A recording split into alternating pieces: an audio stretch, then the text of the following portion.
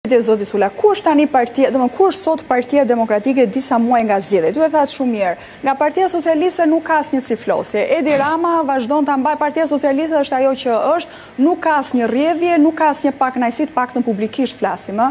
Qartë. Ndërsa nga Partia Demokratike dimë se sikurse është situata. Partia opozitare e re djathtas një mijë e nëntëqind e dymbëdhjetë, dy ditë më parë tha se kemi bërë thirrje të gjitha partive të spektrit opozitar. Nuk dim nëse do ketë një bashkim të tyre.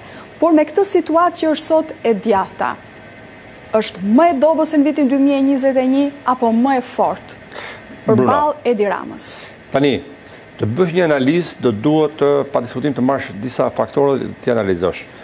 Por, Po të bësh, thjesht marrin vetëm dy faktorë. Një, faktori i elementit nga pikëpamja sasiore e forcave politike, sigurisht është më keq se vitin 2021, mhm. për një pjesë, por po të shikosh nga pikëpamja e keqqeverisjes dhe korrupsionit dhe gjithçka tjetër po marrim indikatorët, të cilët ka sot mazhoranca, sigurisht është më keq mazhoranca sesa Ë?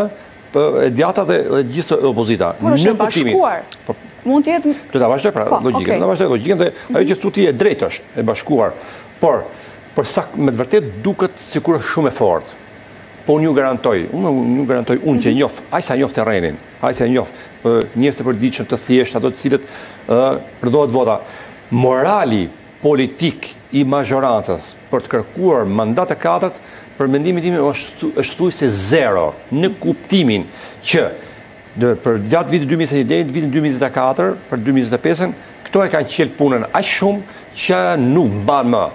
Por, sigurisht ka edhe pjesë të elektoratit skeptik, të cilët na drejtohen ne, ku jeni ju opozita? Çfarë duhet të bëjë opozita?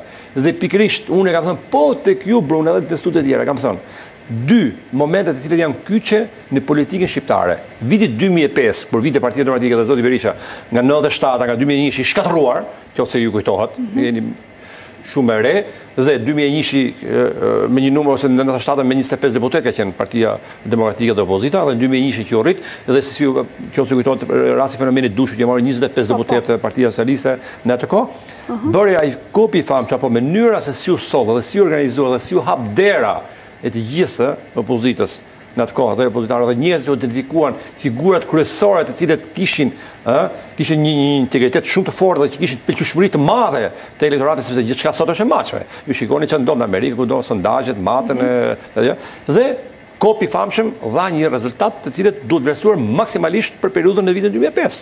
Edhe unë jam një prurje e re e vitit 2005 dhe kam hyrë në politikë, vij nga drejtoria kundër krimit organizuar antimafia në prokurori përgjithshme për shkak të shumë shumë këmbënguljes të strukturave të Partisë Demokratike në Peqin dhe të zotit Berisha dhe Partisë Demokratike të lartë Unë kandidova që se kisha ndërmend për të kandiduar në politikë për të hyrë politikë 2005-ën.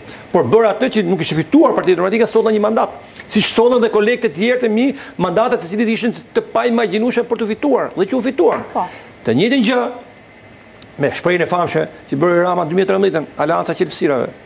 që të kujtohet, po përdor po, termi po. zhargonin popullor në këtë të formë, por që sa shprehje të gjithë nuk harrohen, qëndrojnë, nuk harrohen që ngel, por që do të thotë pra që lënë në dhe që ajo shprehje në kuptimin lapidar që zotëri ku jemi, ku s'jemi, gjithçka edhe më i fundit i keq po themi rrugaç apo gjë, do duhet të rrëzoheshin Sali Berisha Partia Demokratike 2013.